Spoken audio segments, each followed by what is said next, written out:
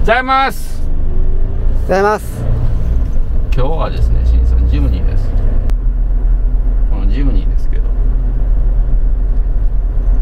山行く時とかちょっと用なんですけど荷物を積むとですね動きが大きいというところでですね今まだこれノーマルなんですけど足回り交換をですねなんと自分でやってみようかな。とう純正から変えるってことですか？え？純正から。の足回りをねなんか変えようと。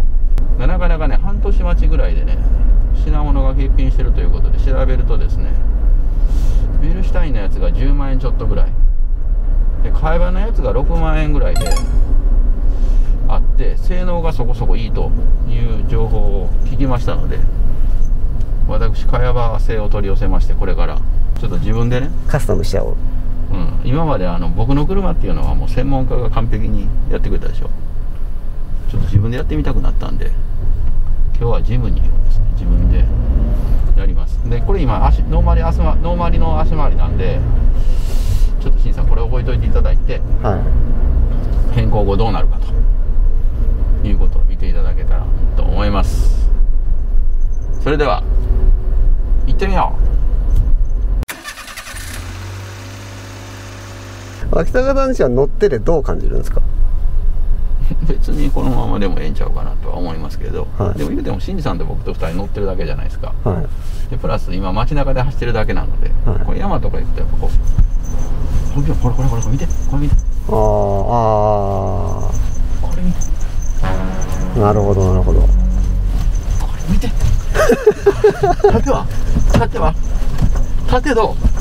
縦入れてる。た縦縦はそうでもないね。縦はそうでもないあでも縦も入れてるね。揺れるけど縦もまあ揺れてるね。まあって感じですか入れてるね。でなんかねタイヤの片べりっていうのもね気になる。普段ね親父も乗ってるんですけどこの車、タイヤの片べりも気になるっていうことをちょっとちらっと聞いたので僕としては両親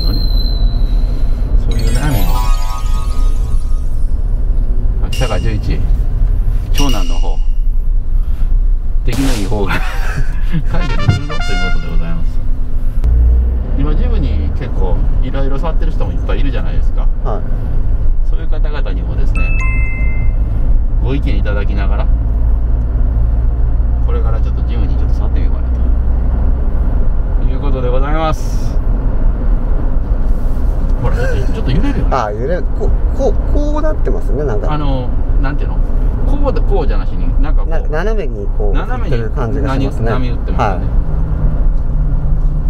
い。うん。そうですね。ね。そうですね。とりあえず今回は締まりだけなんですよね。はい今回は足回りまずあまず足回り変えたいです。はい。僕の知り合いに山崎武さんってホームラン王がいるんですけど山崎武さんジムニーのシエラをですねメルセデス・ベンツの AMG のゲレンデみたいにですねカスタムしてるんですよ。なるほど。そこまではいきませんけど。まあちょっとやってみて。でこれ山使いしたりするんでタケノコ取りに行ったり蜂蜜取りに行ったりするんでそこで必要になってきた時点でどんどんどんどんカスタマイズすると。でルールがありましてそのカスタマイズですけど全部僕がやるということでいきたいと思います。ちょっと待ってくださいね。これこれ。KMR KMR KMR KMR ですよこれ。これも完全ほらほら。これ KMR レーシングシミュレーターですよこれ。これ絶対 KMR ですよ新さん。どうやって窓開けんのこれ。ほら。KMR KMR ですよこれ。完全。KMR 邪魔すんな。でプロフィールに到着でございます。これこのままえなりさん引いたらどないなるやろうな。ちょっと行ってみようか。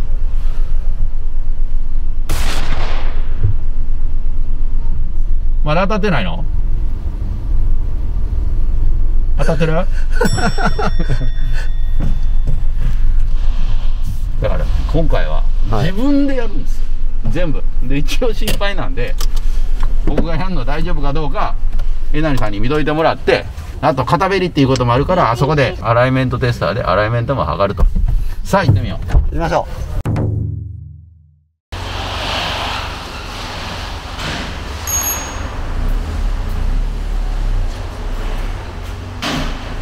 ノーマルでも一応アライメントは取った方がいいのね。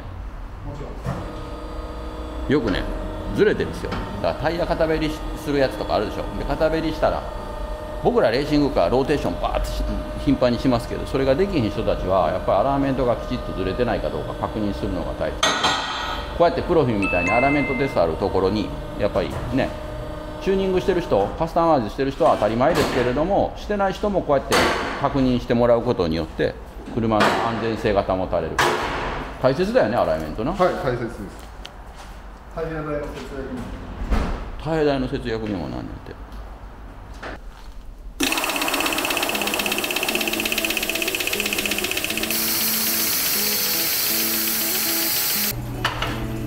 何つけんのこれアライメントテスターをつけるためのアタッチメンタイヤにかけんのそれト。ホイールに当てて、タイヤタイヤにタイヤで固定。ここまでやると緑がつくんですよ。うん緑がついたらまた同じようにここを合わせていただいて。で、でまたこれホイールをこんだけ回す。緑がつくまで回すと、はい、ここでもう一回設定して。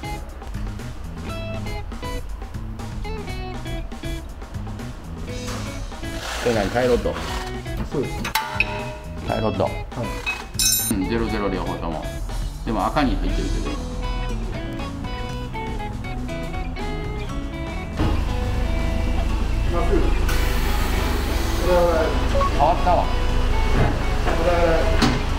ちょっと右切ってくださ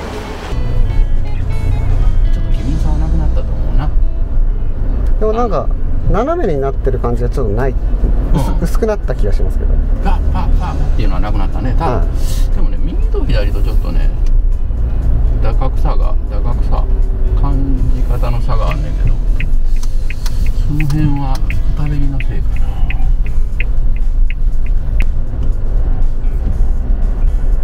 な。なんか遊びが増えたというかここに、うん。あの変にハンドルを切っていきなりピカッピカッピカッって動くのはなくなりました、まあ、これが良しとするかどうかまああと足回りも交換してみましょう。もうずっとこうなっててピクッピクッとしてたやつがなんかハンドル切ってちょっと時差ができる。ですよね。今まではこうずっとイン側を向いてるんで、ちょっとでも切ったらずっとどっちかに行きたいいやだからどっちがいいかね。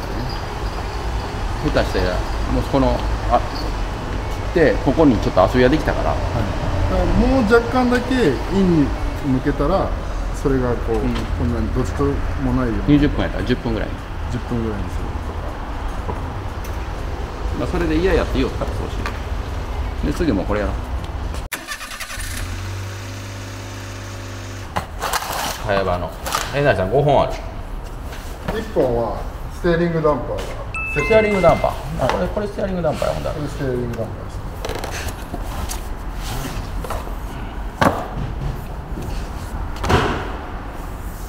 青や。真っ青です。全部青です。え？全部青です。どうする？出来上がってを走ってる間に。なんか外れたぞ言われて。る 早場さんとよくあのスーパー GT のパワステの開発一緒にやりましたですな。よいし。ょこれ、えー、ニュー SRMC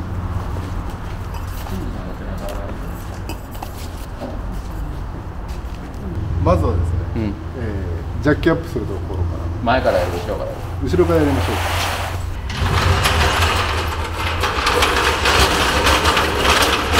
そこのかけるところ知ってる？かけるところ。う一応知ってますけど教えてもらっていいですか？ここ。おさすがですね。エアはエアは。手でやりましょう。マジでかそんな大変じゃない。です、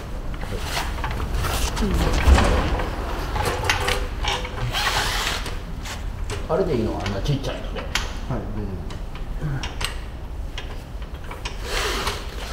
うん、よげるから。はい。耐えヤ外ます、はい、うん。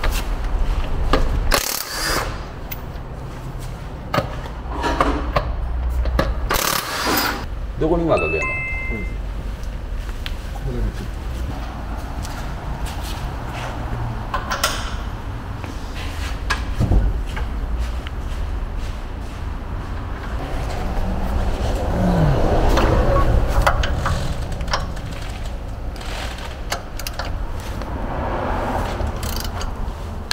ん？俺これ閉めてる？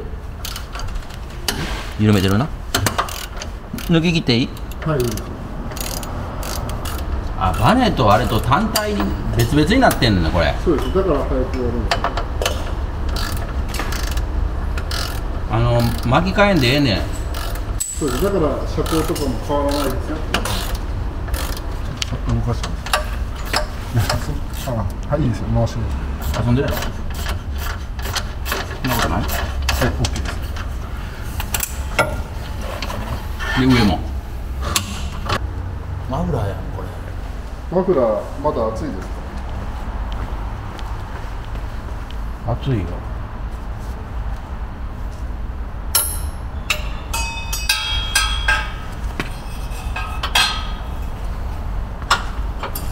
入った。どっちに回すのやったっけ？ネジ。時計回り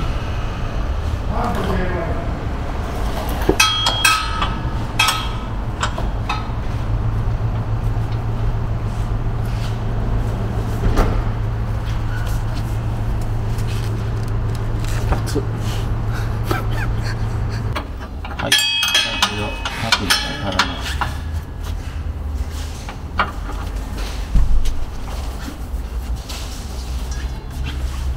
緩まないえ緩めます半時計回りだよな。はい。押す方ですよおそうだよな。はい。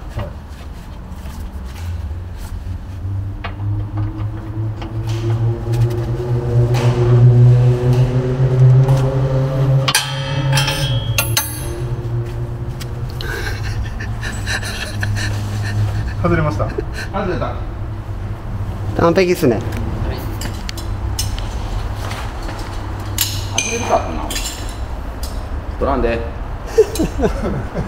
これやったら諦めてバンパーから何から全部必要ないところまで外してしまいます取れた？危ないで。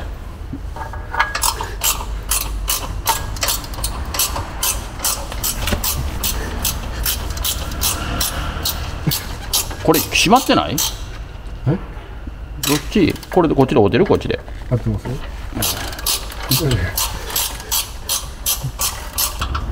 どっから手に入れるの？あれそこに。こはい、うでこの手入れてこいつを取んのそうです。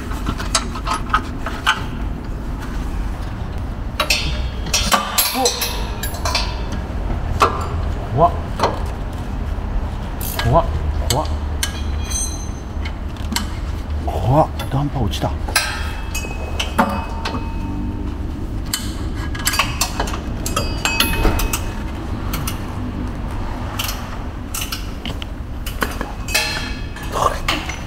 取れた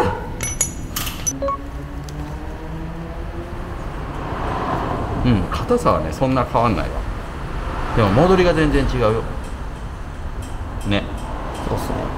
ゆっくりですね。左右変えてみようか。右利き左利きかあちょっとちょっとこっちの方が硬いかもしれない。新しい方が。うん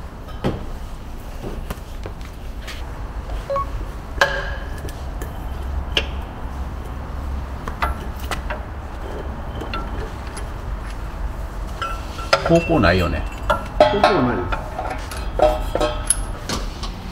パタパタ揺らしながらやると手でもかし何？こっちは仕事早いから。ただやっぱりこのあの素人の人こうジャッキアップしてあれだけ気付けんとね落ちてこないようにだけ高齢になるから。ここで挟まれたのよ。ジャッキアップ車に？はい近所のおっさんに見つけてもらった。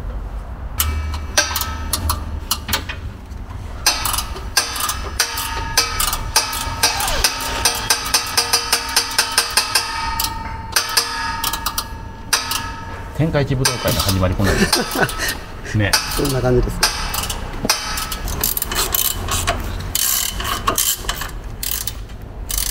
間違えてる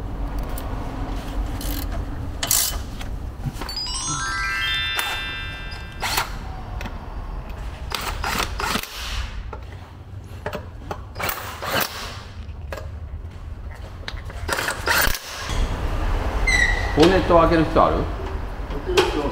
ないんだ。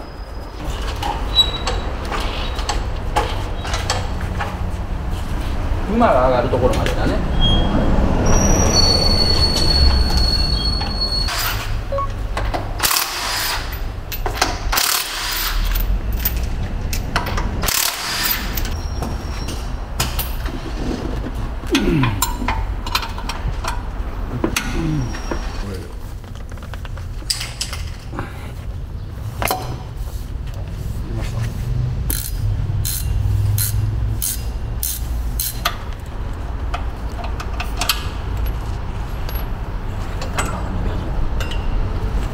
これがフロントダウン。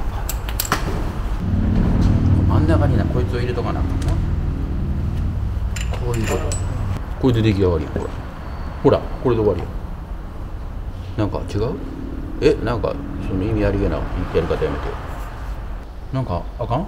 大丈夫です。ねナットもこれ新しいの使えってこと？はい。あれは使うなってこと？そうです。じゃあこいつをこいつやろ、今度いいの？通った。取りました。通った。ほんほんで？こいつをゴムを入れ乗せて。ゴムを入れて。でその上にもう一回皿を。こう向きでいいってこと？そうですね。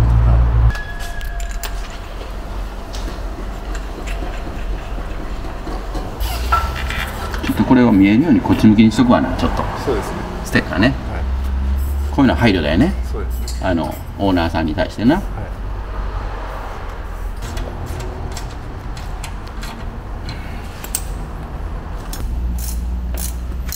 どのぐらい締めんの？そこは、あの左手の方ちゃんと挟まってればいい。まあし閉まるだけですけどやめそうだなと思ったらやめてください。こっち側がってことですかね。うんこれあの左右入れ替えたからこれが外側になるうんうん今は内側やけど外側？OK はい。今は内側やで。はい。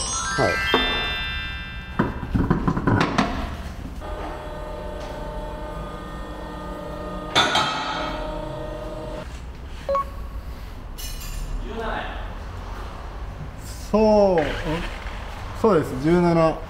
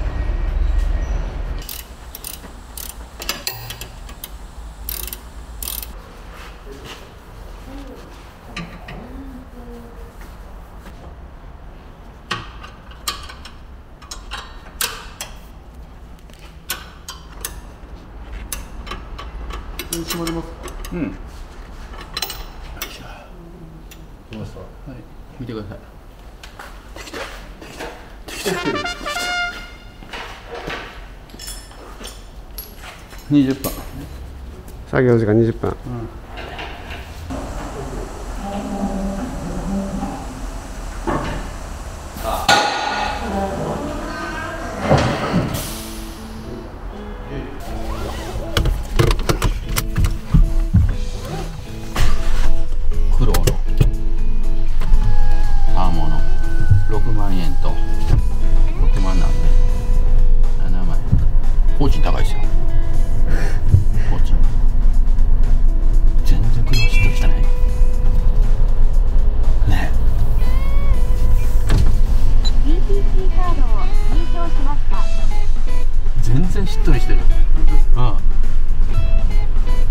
わかるでしょしんさん。なんか滑らかな感じですかね。新型86もそうやけど横に乗ってるだけでお好きなこと言うなもう。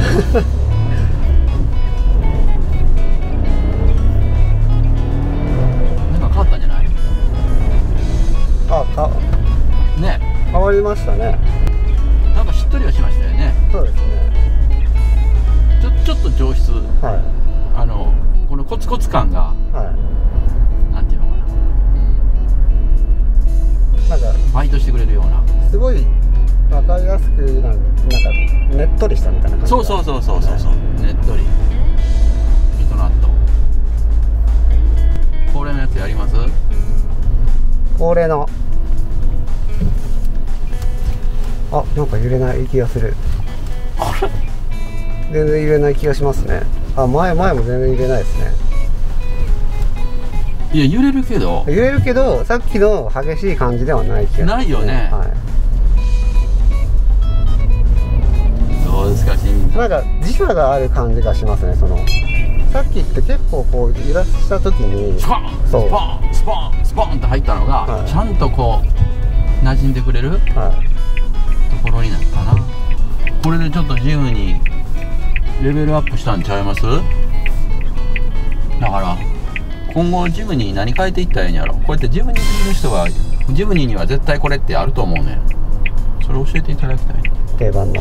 ほんなら変えていこうよこれどんどん。でハンドルの切り始めのぎ敏感さが欲しかったりもうちょっとねちょりこうやりたかった人はやっぱりフロントローをフロントの塔を調整することにこれはもうジムニーに限ることじゃないけどそれでだいぶ変わるな。なんか買ってきたままなんか前乗ってた車買い替えて前乗ってたやつはちょっともう少しハンドルがだるーでよかったやけどなんか買ってきたこれ機敏すぎるなとかって思う人いると思うその逆もあったり。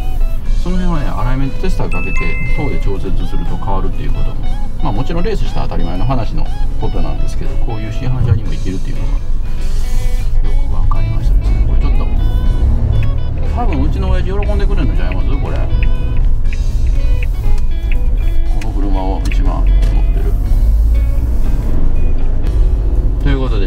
はい。これであと親父が乗ってくれて OK サインが出たらよしとしましょう。お帰り見ていいですか？ほらさっきより揺れてないよね。そうですね。多分これ動画で比較した時にも分かる。わかる分かると思うんですよね。多分。ああなるほどなるほど。見て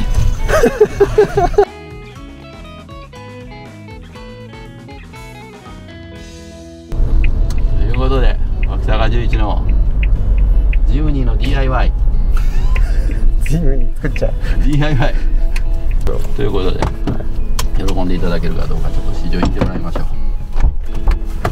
全然揺れなった。ようなったらしいんで。次何しましょうかね。考えたいと思います。視聴者の皆さんにもぜひカスタムのアイデアをコメント欄に書いていただければと思います。しんさんこれ後ろから見た時、はいこう見た時にあそこに青色のダンパーが見えてるからあなんかあのジムに変えとんなっていう感じでしょ。それはちょっとかっこいいですね。なんかこういう外見、まあ、これはダンパーなんで走りに関係しますけどうん。なんか外見的なものもなんかやったらかっこいいんじゃないかなとは思うんですけどね。マットガード。そうそういうのとか。そうなんこの そういうのとかやったらいいんじゃないかなって